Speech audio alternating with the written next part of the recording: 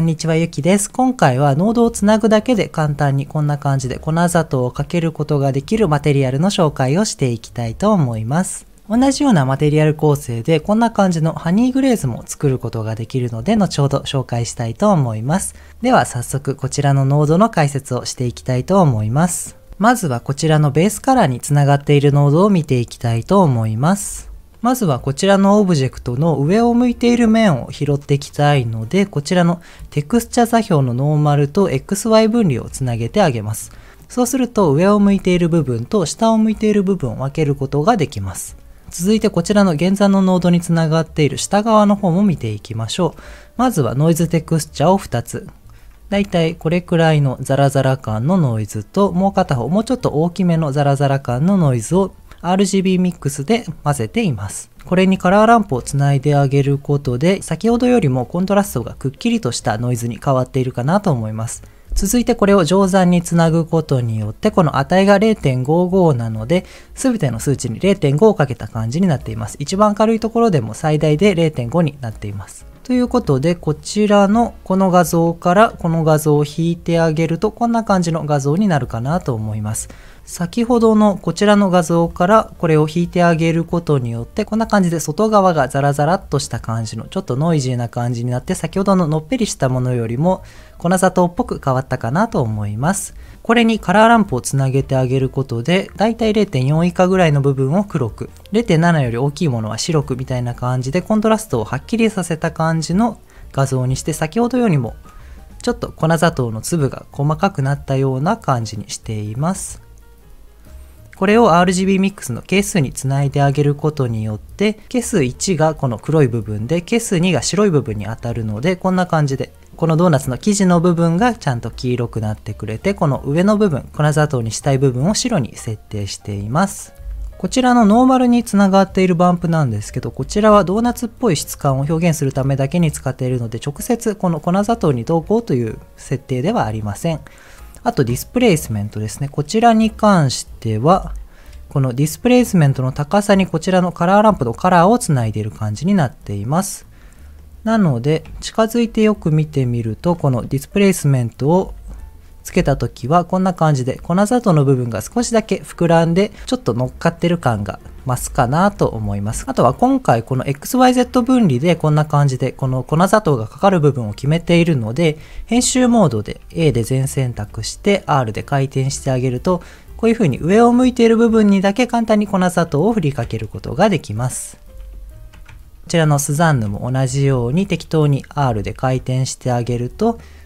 こういう風に上に向いている部分にだけ粉砂糖をかけることができるので結構汎用性は高いのかなと思います。ではこちらも解説していきたいと思います。先ほどと同じようにテクスチャー座標のノーマルと XYZ 分離をつないであるので、また上を向いている部分は白くて、下を向いている部分は黒くなっています。続いて下のノードも見ていきます。ノイズテクスチャーはこんな感じで先ほどよりもノイズが大きい感じになっていてこちらにカラーランプをつなぐことで少しだけコントラストをはっきりさせてあげます。これに乗算をつないであげることで最大値を0.48まで下げておきます。これで先ほどのこの画像からこちらを引いてあげるとこんな感じの画像になるかなと思います。先ほどの粉砂糖と比べるとそこまで輪郭が細かくなっていないのがわかるかなと思います。これにカラーランプをつないであげます。今回このカラーランプの黒と白の間は一定になっているのでこんな感じである一定の数値以上の部分を白くすることができます。あとは先ほどと同じようにこちらの RGB ミックスの係数につないであげることでこんな感じでドーナツ部分と上のグレーズの部分を分けてあげることができます。先ほどと違うのはこちらの色2の方ですね。このノイズテクスチャとカラーランプを使ってこんな感じの白とオレンジが混ざったカラーにしてあげます。これを混ぜた理由としては単色のこの白のままだとこんな感じでくっきりはっきりとしてしまってグレーズっぽくないのでこの色だけで透け感を出すためにこんな感じで下のドーナツのカラーが透けているようなこの色をつけてあげています。このグレーズ自体をモデリングする場合はこんな感じにする必要はないんですけど、今回は同一マテリアルなので、このグレーズだけを透明にするっていうことがなかなか難しいので、こんな感じでまだら模様をつけることによって、このドーナツのカラーを透けてちょっと透明っぽいような見た目にしてあげています。では今度こちらの粗さにつないである RGB ミックスを見ていきましょう。ドーナツは結構マットめな質感だと思うんですけど、グレーズに関してはツヤツヤしていた方が美味しそうなので、今回はこのカラーランプを係数につないであげることによって、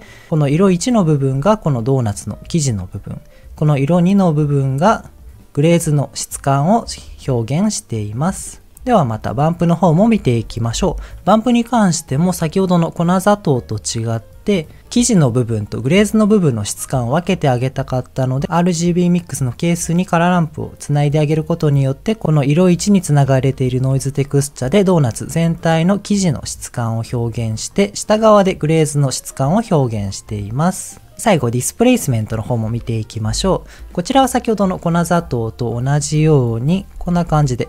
近くで見てみるとグレーズの部分だけ膨らんでいるのがわかるかなと思います。ディスプレイスメントがないとこの輪郭がちょっと違和感があるかなという感じなのでこちらをつけてあげることによって遠目で見るとちゃんと浮いててモデリングしたものが上に重なっているような見た目に変わるかなと思います。あとはこちらも先ほどの粉砂糖と同じように R で回転してあげるとこんな感じでこの上を向いている部分にグレースをかけることができます。